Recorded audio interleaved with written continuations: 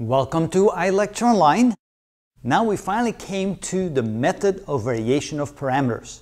What is that? Now in the previous set of videos, in this series here, we've seen how we use the method of undetermined coefficients to find both the homogeneous and the particular solution to a second order non-homogeneous differential equation. So we're going to do the same thing now, but we're going to use a different method called the method of variation of parameters. It is a method that takes longer. It's not as easy as the one that we use the undetermined coefficients with. But what we can do with that method is we can solve one that has non what we call constant coefficients. We can actually have a function of t here and a function of t there, and of course a function of t on the right side, and we can still solve for both the homogeneous and the particular solution. Now, of course, to solve the homogeneous part of the solution, we will need to use different methods.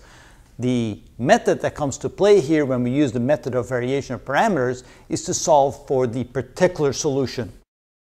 Now later on, we will show you how to find the homogeneous solution for an equation like that that has non-constant coefficients. So far, we've only done that where the y term was missing.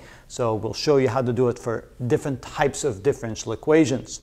But what we want to do here is explain what the method of variation of parameters is and what the solution of it looks like.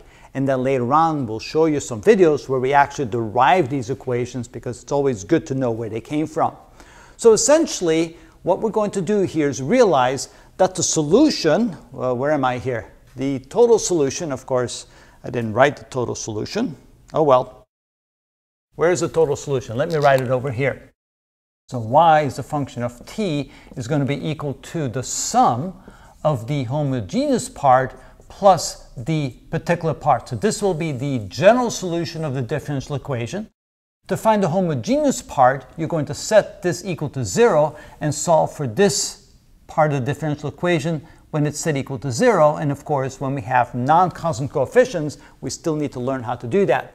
When it's constant coefficients, we then use what we call the characteristic equation, solve for the roots, and come up with the standard solution. And that gives us something in the form of this, a constant times a function plus a constant times a function, where y1 and y2 are definitely solutions to the homogeneous part of the solution. Now, how do we find the particular solution in this case using the method of variation of parameter? Well, the assumption is that the solution will have this form it'll be y1 and y2 again, which are solutions to the homogeneous part of the equation. And then we're going to multiply these by two other functions, u1 and u2. And so the whole effort here is to find the value, what u1 and u2 are equal to. I guess I shouldn't say value, it's going to be a function, of course, in t.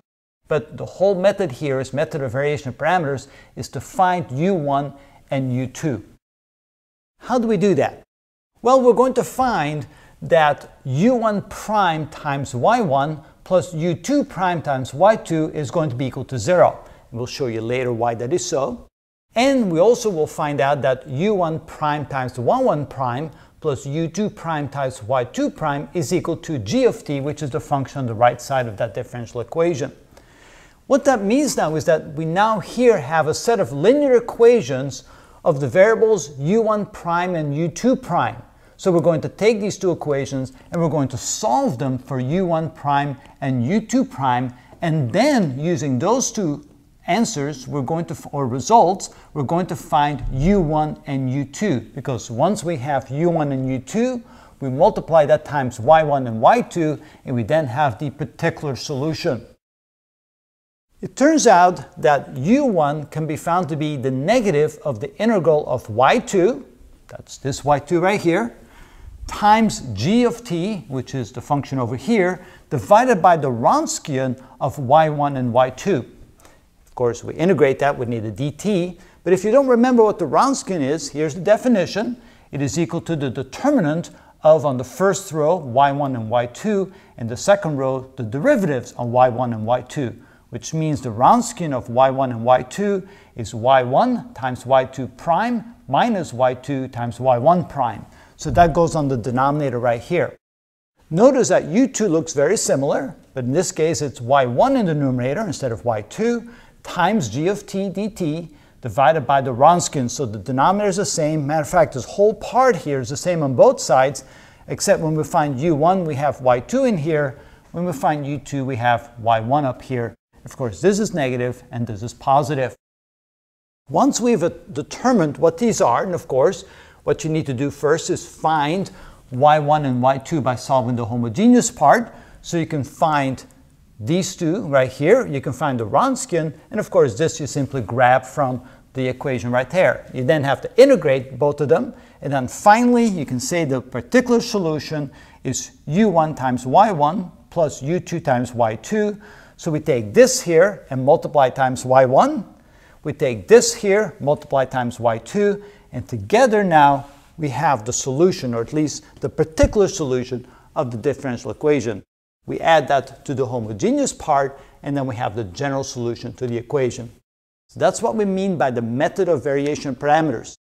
Even if you don't know how to derive these equations, although we'll show you in the next several videos, you can simply take these formulas, plug in the proper numbers, plug in the proper functions, and find the particular solution. We'll show you some examples of how to actually do that on some real problems later.